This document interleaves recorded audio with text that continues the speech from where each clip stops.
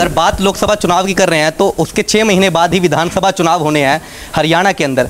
असंध की हम बातचीत करें, असंध की जनता में काफ़ी चाहते हैं कि अगर भारतीय जनता पार्टी के जो आपके समर्थक, आपके कार्यकर्ता है, कि योगेंद्र राणा जी एक मुख्य चेहरे के रूप में आए, विधायक का चुनाव लड़े। उसके बारे में योगेंद्र राणा की क्या कुछ राय है? क्या संगठन किसी प्रकार निर्णय लेता तो आपकी इसके बारे में राय है। देखिए, ये भारतीय जनता पार्टी एक ऐसी पार्टी है कि इसका जो भी निर्णय होता है, वो शीर्ष नेतृत्व करता है। हमारा जिसके हाथ में भी कमल का फूल होगा वही भारतीय जनता पार्टी का उम्मीदवार होगा। और भारतीय जनता पार्टी जिसको कमल का फूल दे के भेजेगी सारे कार्यकर्ता तन मन और धन से उसके साथ लगेंगे। आप कहीं ना कहीं कहेंगे इच्छा रखते हैं कि कमल का फूल आपके हाथ में भी हो और अगर संध की कमान आपके हाथ में हो। मैंने एक बात बोली है कि ये शीर्ष नेतृत्व तो तय करता है और शीर्ष नेतृत्व जिसको भी कमल का फूल देगा वही भारतीय जनता पार्टी का उम्मीदवार होगा। कमल का फूल ही भारतीय जनता पार्टी का उम्मीदवार है। तो आ, कमल का फूल भारतीय जनता पार्टी का उम्मीदवार होगा ऐसा कहना है योगिंदर राणा जी का। योगी जी असम नगर पालिका से जो चेयरमैन है सतीश कटारिया कहीं ना कहीं भारतीय जनता पार्टी के साथ मिलकर बड़े ही आगे अपने पार्षदों के सहित कार्य कर रहे हैं। क्या भविष्य के अंदर भी किसी प्रकार की कोई असम नगर संबंधित किसी प्रकार की आवश्यकता पड़ती है?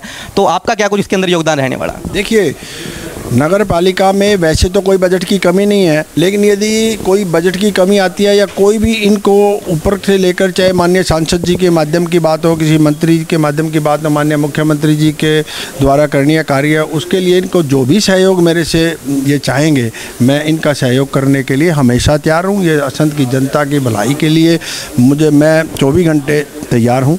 जो भी मेरे से इन लोगों की उम्मीद है मैं इनकी उम्मीदों पर खरा उतरने का प्रयास करूँगा। प्रश्न आपसे अभी नगर पालिका के इन्हीं के पार्षदों ने पिछले दिन एक बजट का जो बैठक उसके अंदर कहा था कि हमारे ऊपर कुछ लोग दबाव बना रहे हैं कि किसी किसी प्रकार का कोई दबाव। क्या आप उनको आश्वासन दिलाना चाहते हैं कि अगर वो पार्षद जनता के द्वारा चुनकर गए हैं तो चाहे कोई भी व्यक्ति हो वो दबाव की तरह राजनीति में ना करे? उनको इस प्रकार के आश्वासन में आप क्या कुछ कहें देखिए जो जनप्रतिनिधि है जनप्रतिनिधि जब लोगों ने जनता ने चुन के भेजा है तो दबाव तो होना ही नहीं चाहिए। दबाव किस बात का, वो अपने कोई भी काम जनता के हित में करने के लिए स्वतंत्र है और उनके जनता का हित सामने रख के, आगे रख के उनको हर काम में करना चाहिए। इसमें दबाव मानने की तो ज़रूरत ही नहीं है। बिल्कुल, मैं क्या, सारा प्रशासन, सारा देश, हमारी सरकार, भारतीय जनता पार्टी सरकार, हमारे सांसद, हमारे मुख्यमंत्री जी, सब साथ हैं, जायज़ काम के लिए हर आदमी साथ है।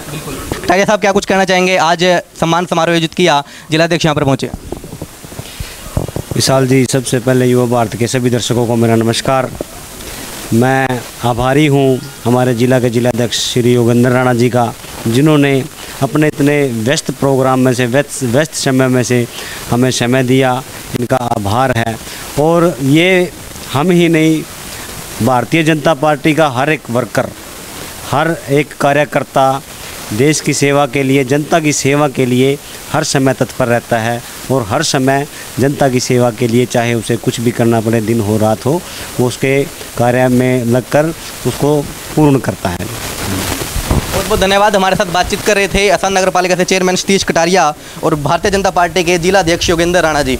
चुनाव लगभग एक वर्ष का समय शेष है और जब असली राजनेता वही होता है कि जो अपनी तैयारियाँ चुनाव संबंधित पहले से ही पूरी रण क्षेत्र की तैयारियाँ करते रहते हैं। और उसी के संदर्भ में योगेंद्र राणा भी असंत विधानसभा से पिछले काफ़ी समय से काफ़ी एक्टिव है और अपनी पूरी तैयारियाँ पूरी टीम के साथ ये लगे अब देखना ये होगा कि आने वाले चुनाव के अंदर भारतीय जनता पार्टी का शीर्ष नेतृत्व किसे असंत के लिए चुनता है और असंत की जनता किसे असंत की कमान देती है। बहुत बहुत धन्यवाद।